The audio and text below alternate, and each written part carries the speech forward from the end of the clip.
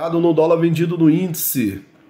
Comprado no dólar vendido no índice, vem genial. Genial, BTG Morgan, no Aren vendendo, 84% de venda no, no índice.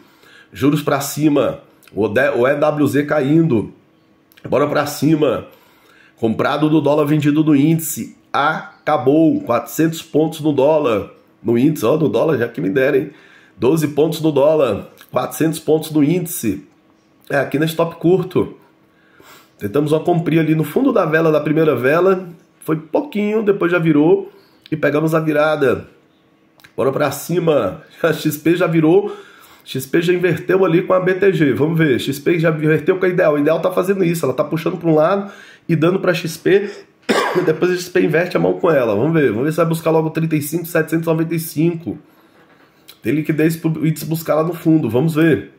Ele não encontrou liquidez todas as vezes que ele chegou no 39.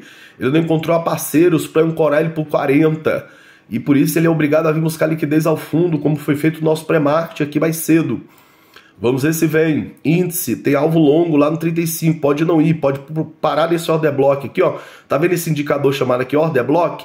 Ele te indicando né, possíveis paradas e retorno do preço. Se ele segurar nesse order block aqui, desse indicador, ele volta para cima lá para o fechamento, lá para o 36, onde é a nascente dele.